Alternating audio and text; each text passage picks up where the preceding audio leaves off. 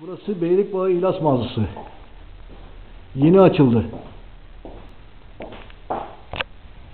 4 Nisan 2011 Pazartesi günü açıldı.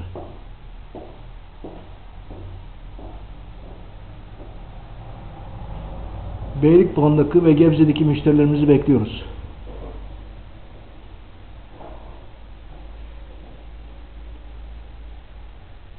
Müdürümüz Mehmet Türk.